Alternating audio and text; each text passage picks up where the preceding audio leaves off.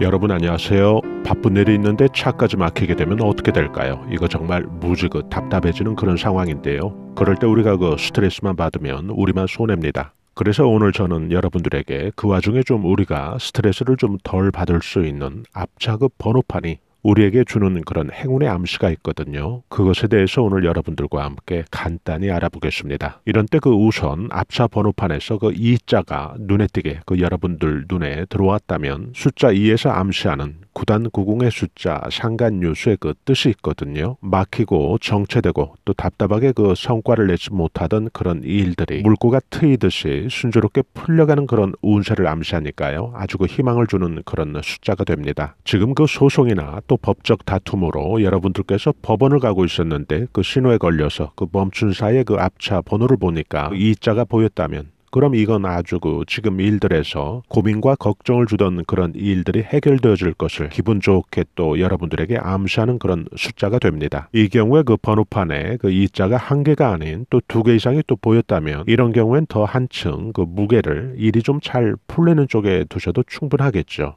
앞차 번호판에서 예를 들어 5자가 또 눈에 띄게 또 보인다. 그러면 이건 그 구단 구궁의 숫자 중에서 가장 큰 그 문서 운을 뜻합니다. 무언가 그 잡게 되고 성취하는 걸 뜻하는 아주 대길한 행운의 암시로 생각을 하시면 되겠습니다. 문서라든지 합격증, 승진, 계약 체결 이런 걸 기대해 볼 수 있는 그런 숫자인데요. 또 중요한 견적서를 제출하려고 가는 길이었는데 그 앞차 번호판에서 이 5자가 보였다면 그럼 이 경우에는 여러분께서 도로 위에서 그 네잎 클로버를 만난 거나 마찬가지죠. 미팅이나 소개팅에 나가는 중이거나 구직 중인데 이 면접을 보러 가는데 자가용이나 버스 혹은 택시로 그 이동 중인데 그 차가 막힌다. 그럼 이런 경우는 또 시간 약속 때문에 더 속이 탈 것 같은데요. 이런 때 그 앞차 번호판에서 그 팔자가 보였다면 시간이 좀 늦어지는 게 큰 대수는 아닌 일이 될 가능성이 많아집니다. 왜냐하면 구단 구공의 숫자에서 이 8이라는 것은 귀인이 나를 크게 도와주는 귀인의 도움을 암시하는 숫자이기 때문에 그렇습니다.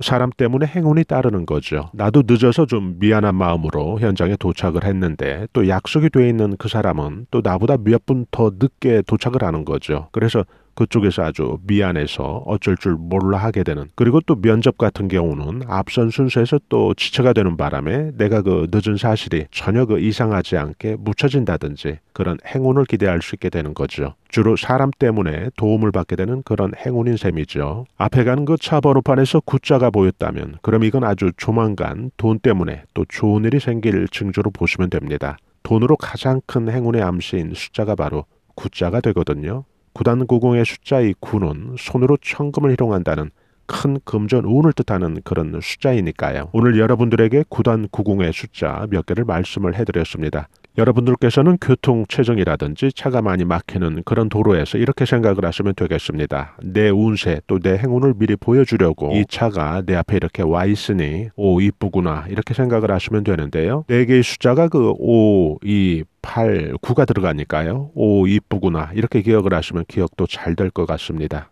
오늘 여러분들과 함께 간단히 그 숫자 풍수 함께 살펴봤습니다. 이 영상을 들어주시는 구독자님들 그리고 시청자 여러분들께서 도로에서 정체가 되더라도 또 여러분들께서 그 행운의 숫자를 찾아보시기 바랍니다. 저희는 다음에 더 알찬 내용으로 여러분들 다시 찾아뵙겠습니다. 대단히 감사합니다 여러분. 안녕히 계세요.